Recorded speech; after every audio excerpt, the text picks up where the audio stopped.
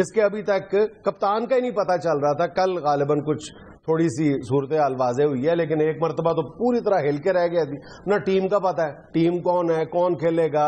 मतलब बाकी जितनी टीमें इस वक्त अपने सारे बाकायदा वो पेयर अप हो चुके हैं गेयर अप हो चुके हैं। एक एक चीज़ उनको बिल्कुल क्लैरिटी के साथ पता है। अपने टारगेट का पता है अपनी प्लानिंग का पता है अपने स्ट्रांग पॉइंट का पता है अपनी वीकनेसेस का पता है। पाकिस्तान को अपनी क्रिकेट टीम का ही नहीं पता खेलना हमने खाक है नहीं पाकिस्तान को तो अभी तक क्रिकेट टीम होगी तो उसको पता होगा ना क्या किधर को जाना और क्या करना और ये सारी सिचुएशन मेरे ख्याल से पहली दफ़ा पाकिस्तान को फेस करनी पड़ी है। पहली दफ़ा नहीं है पहली।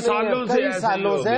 और इससे पहले भी जो टीम के अंदर मतलब धड़ेबंदी या इख्तलाफात होते हैं वो पहले भी हुआ करते थे। लेकिन मेरा ख्याल है एक तो इतने तवातुर के साथ इतने लंबे अरसे तक नहीं हुआ करते थे। मतलब for the short period of time मतलब एक या दो माह तीन माह बाद फिर ना कुछ रिजॉल्व हो जाते। था एक इमरान खान के भी थे मुख्तलिफ़ लोगों के थे। ठीक हो जाते थे। लेकिन ये जो मौजूदा ये एक झगड़ा चल रहा है या एक सर्द जंग चल रही है शाहिद अफरीदी और मिसबाउल्लाह के दरमियान ये तवालत इख्तियार करती जा रही है और इसने मेरा ख्याल है कि ये दिन दिखा दिया आज हमें कि टीवी पर सब कुछ हम देख रहे हैं। मतलब क्या जस्टिफिकेशन रह गई हैं हमारे पास? ये तुमने शाहिद अफरीदी की थर्ड वनडे के बाद प्रेस कॉन्फ्रेंस सुनी? है हाँ, जिसमें हाँ, वो उनके साथ टीम के जो मैनेजर हैं मोइन खान साहब चीफ सेलेक्टर वो तशरीफ़ रखते हैं। तो शाहिद अफरीदी कह रहे हैं कि मुझे तो मीडिया के ज़रिए पता चला था कि मैं कप्तान बन गया तो उसके बाद बाकायदा मोइन ने लुकमा दिया है। मोइन ने कहा है कि इस, इस सवाल का जवाब जरा संजीदगी के साथ दो। ये तुमने मज़ाक में बात कर दी है इस सवाल का जवाब संजीदगी के साथ दो। तो फिर साथ ही शायद अफरीदी ने यू टर्न ले लिया। उन्होंने कहा, नहीं जी, नहीं, मुझे पहले पता चल गया था, मुझे मैच शुरू होने से पहले सुबह ही बता दिया गया था कि आप कप्तान हो गए। उसके बाद मीडिया ने इस बात को कैसे लिया मुझे नहीं पता।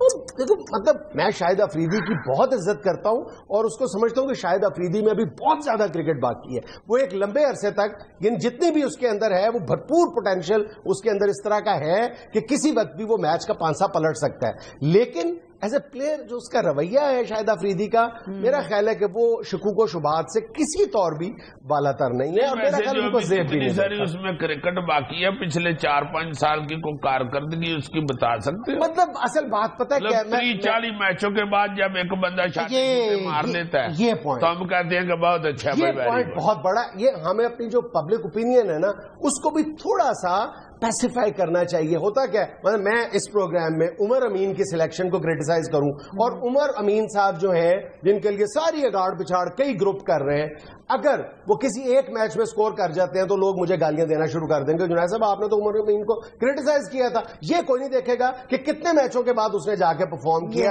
उन्नीस की एवरेज से खेल रहा है और कई उससे ज़्यादा अच्छी एवरेज रखने वाले दोबारा उनको सिलेक्शन का मूवी नहीं देखना पड़ा उनको बाहर कर दिया। हाँ फिर यार ये जो सिलेक्टर हैं ये जो मैनेजर हैं ये जो बोर्ड को चमड़े हुए ये ये मैं कई कई सालों से बेड़ा है। गर्क हो गया मैं, मैं सॉरी। सो मैं मैं ये तो कहना नहीं चाहता कि इस वक्त जो पॉलिटिक्स की क्रिकेट के अंदर धड़ेबंदी की जो सबसे बड़ी वजह है वो वो शख्स है जिसको सियासत की डटकर मुखालफत करनी चाहिए थी और उसके खात्मे के लिए सबसे ज़्यादा कोशिश करनी चाहिए थी। यानी जो टीम के मैनेजर हैं जो टीम के चीफ सिलेक्टर भी हैं जो अ, बोर्ड की कई कमेटियों के चेयरमैन भी हैं जो पीआईए में भी काम कर रहे हैं जनाब मुइन खान साहब। यानी जो वाकफान हाल है खान भी कब से लगा हुआ है? इनको टाड़ी परे डाल दे लकड़ों का। नहीं, इनसे कुछ हो रहा। तो इससे जान छुड़वाए।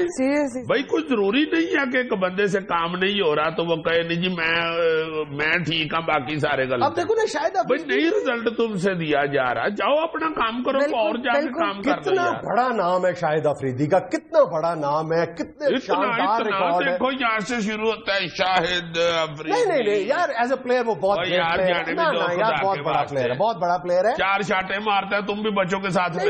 बच्चों के साथ हाँ, देखो अब दिया। मुखालिफ टीम पर उसका दबाव बहुत ज़्यादा होता है। बड़ा दबाव ये ऑस्ट्रेलिया ने देखा नहीं कितने दबाव नहीं ऐसे तो कई प्लेयर इस तरह तो मिसबाउल हक ने भी कुछ नहीं किया। पूरी सीरीज़ में मिसबाउल हक ने भी कुछ नहीं किया। लेकिन किसी कब कह एक- रहा हूँ कि मिसबाउ लागू पलाच नहीं उसको नहीं नहीं किसको फिर रखें? यार आगे जो बचे लाए यार। बच्चे अच्छा ये भी हमारी बहुत बड़ी खुशगुमानी है। हमें इस खुमार से भी बाहर निकल आना चाहिए कि हमारे पास जो नए नौजवान खिलाड़ी हैं नया टैलेंट बेशुमार है।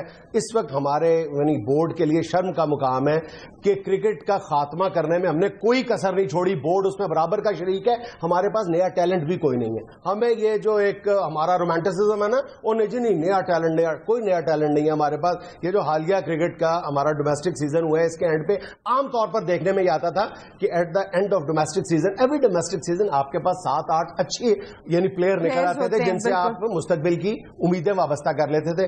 ये जो अभी हाल में एक या दो सीज़न हुए, एक भी प्लेयर नहीं आया, कोई बॉलर ऐसा नहीं आया जिसकी 135 किलोमीटर पर आर की स्पीड स्पीड ज़्यादा हो, कोई नहीं आया। कोई बैट्समैन अच्छा नहीं आया काबिल ज़िक्र बैट्समैन नहीं आया। कुछ हमारे पल्ले नहीं है। तो यही अवेलेबल प्लेयर है।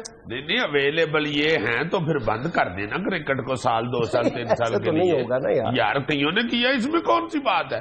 तीन चार साल लगा के टीम तैयार करेंगे बेजत होने के लिए जाने। बहरहाल क्रिकेट में हिस्सा तो लेना है ना हम बाहर तो नहीं हो सकते लेकिन प्रॉब्लम ये है कि उसके लिए कोई प्लानिंग की जाए। पूरे मतलब मुल्क की एक बड़ी आबादी जो है इसको एक पैशन समझ के इसको देखती है।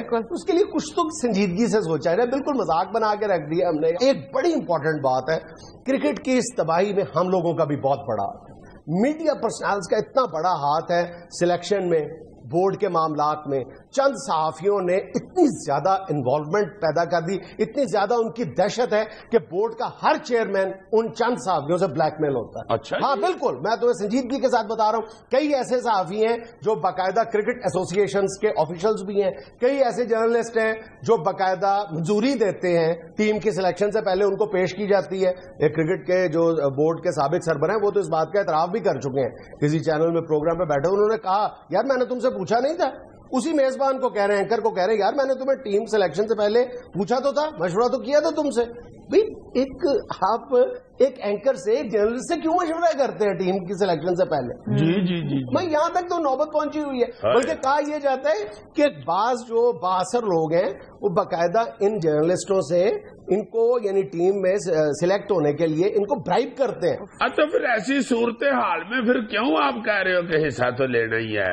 मादरत कर लें आप वर्ल्ड कप जब करीब आए तो उनको फ़ोन कर दे जी साडे मुंडे का व्याह अगली एरिया तो टीम बनाए अपनी अगले कई कि चलो भाई मुंडे का विआह है तो फिर क्या किया जा सकता तो अगली दफ़ा अच्छी टीम निकाल के उसको अच्छी तरह तैयार करके उसको प्रैक्टिस करवा के को बंदे आगे ला के जो मुल्क के साथ सिंसियर हो अपनी जॉब के साथ सिर्फ़ सिंसियर ना हो अपने नोटों के साथ ना सिंसियर हो बिल्कुल, बिल्कुल। जो मुल्क की इज़्ज़त के साथ सिंसियर हो उनको आगे ला के कहें जी कि मुंडे तैयार करो अच्छा, भाई टीम बना के दियो कुछ अर्सा पहले तक मैं ये समझता था मेरी ये खुशगुमानी थी कि ये जो क्रिकेट में धड़ेबंदी होती है टीम के अंदर धड़ेबंदी होती है इंतज़ार होता है इसका नुकसान ज़्यादा से ज़्यादा ये होता है कि टीम यकसू होके नहीं खेलती कोई प्लेयर जानबूझ के अंडर प्ले नहीं करता होगा यानी जानबूझ के खराब नहीं खेलता होगा लेकिन अब मेरी ये खुशगुमानी भी कमा हक को हूँ पूरी तरह से ये दूर हो चुकी है क्या यानी मतलब? बिल्कुल कई प्लेयर ऐसे हैं जानबूझ के कप्तान के खिलाफ या कब ये जो दो धड़े हैं ये एक दूसरे को नीचा दिखाने के लिए बाकायदा अंडर प्ले करते हैं। हाँ अभी देखो उमर अकबल को निकाला है। मतलब मैं किसी एक की हिमायत के दूसरे की मुखालफत